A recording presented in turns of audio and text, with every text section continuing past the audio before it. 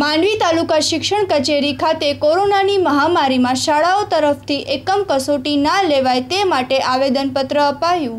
કોરોનાની મહામારીમાં માંડવીમાં પ્રાઇવેટ શાળાઓ તરફથી એકમ કસોટી ન લેવાય તે માટે તેમજ પ્રાઇવેટ ક્ષેત્રમાં કામ કરતા શિક્ષકોની સુરક્ષા માટે માંડવીની પ્રાઇવેટ સ્કૂલના આચાર્યો અને ટ્રસ્ટોએ માંડવી શિક્ષણ કચેરી ખાતે મોહનભાઈ ફુફ્ફુલને આવેદનપત્ર આપ્યું હતું. શિશુ મંદિરના શિક્ષક શું કહે છે તે સાંભળીએ. સ્ટોરી બાય પરેશ જોશી મા આશાપુરા ન્યૂઝ ચેનલ માંડવી કચ્છ. આજે હ, વિદ્યા ભારતી ગુજરાત પ્રદેશ દ્વારા એના પ્રાંતમાં દરેક સ્થાન જેટલા પણ સ્થાન આવે છે એના દ્વારા સીઆરસીથી માંડી જિલ્લા મથકે તાલુકા મથકે અને પ્રાંતના અધિકારીઓને આ સામયિક કસોટી અત્યારે સ્થગિત થાય એ બાબતે આવેદનપત્ર આપવામાં આવ્યો હતો. સરકારશ્રી દ્વારા અત્યારે જુલાઈ માસના અંતે સામયિક કસોટીનું આયોજન થયું છે કે બે દિવસ પૂરતું આયોજન છે. આયોજનમાં એવું છે કે પ્રશ્નપત્રો મળશે જે વિદ્યાલય દ્વારા બાળકોના ઘરે એટલે વાલીઓના ઘરે આપવા જવાનું અને બાળક ત્યાં બેસીને પરીક્ષા પૂર્ણ કરે. પરીક્ષા પૂર્ણ કર્યા પછી પુનઃ પાછું એમના ઘરેથી પ્રશ્નપત્ર લેવા જવાનું. અત્યારની સ્થિતિ આપણે બધા સમજીએ છીએ કે અત્યારે એક તો બાળકો કક્ષમાં હાજર નથી, ઓનલાઈન શિક્ષણના માધ્યમથી અભ્યાસ કરે છે. એમાં પણ પચાસ ટકા વાલીઓ તો એવા છે કે જેમની પાસે ઓનલાઈન શિક્ષણની કોઈ પણ વ્યવસ્થા નથી. વાયા વાયા કે અન્ય કોઈ વિદ્યાલયના સંપર્કથી એ પોતાની મેળે પોતાનો અભ્યાસ કરે છે.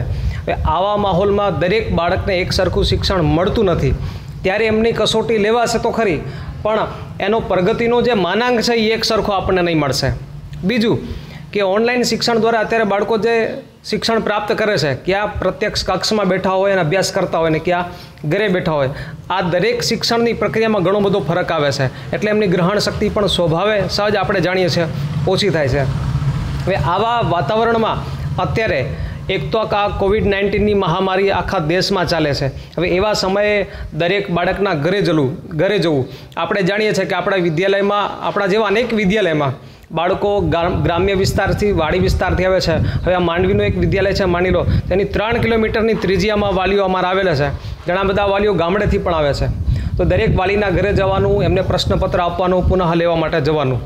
એટલે એક તો વિદ્યાર્થીઓના અભ્યાસની પણ ચિંતા છે કે એક પ્રકારનું બાળકોની અત્યારે કક્ષમાં હજી બેઠા નથી, અભ્યાસ શરૂ નથી થયો અને ઘર બેઠા થોડોક એમનો માનસિક તાણ વધી જશે. કેમ કે વાલીઓનો ફોર્સ વધી જશે. અહીંયા પરીક્ષાની વાત આવે, કસોટીની વાત આવે, એટલે એક હરીફાઈનો ભાવાવરણ પણ જાગે છે. એટલે બાળકોને માનસિક તાણ પણ એક પ્રકારની થઈ શકે છે.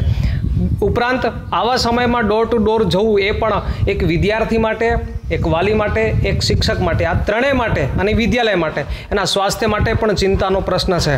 એટલે વિદ્યાલય ભારતીના દરેક વિદ્યાલય દ્વારા પશ્ચિમ કચ્છ વિભાગના દરેક વિદ્યાલયોએ તાલુકા મથકે સીઆરસી મથકે, જિલ્લા મથકે જે આપણી યોજના બની હતી એ પ્રમાણે દરેક જગ્યાએ આવેદનપત્ર આપ્યું છે.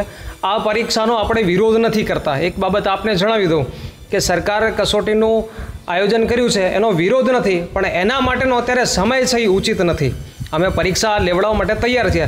જ્યારે બાળકો શાળામાં આવશે, ત્યારે સો ટકા અમે સાથ આપશું, સહકાર આપશું અને બાળકો પાસેથી અમે પણ પરીક્ષા લેવડાવશું.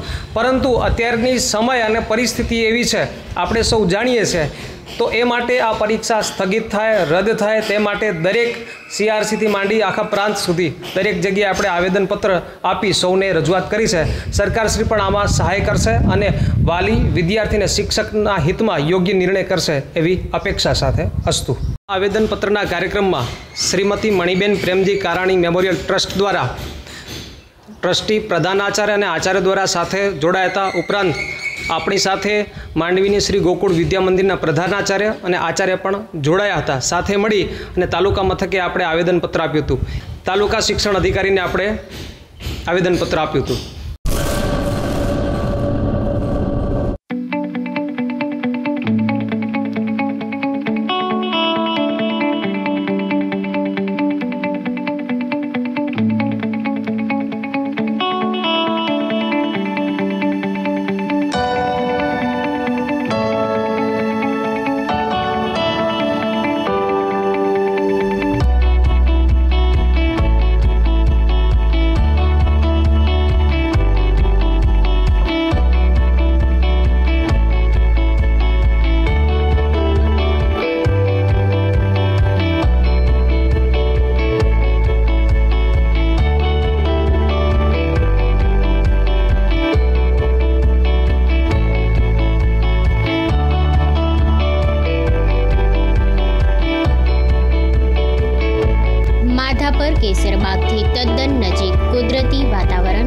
વન બીએચકે ટુ બીએચકે અને થ્રી બીએચકે બંગલાઓનું બુકિંગ ચાલુ છે.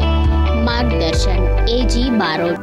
Mobile number nine eight two five one six four nine three six SG Barot nine eight seven nine four five three seven zero four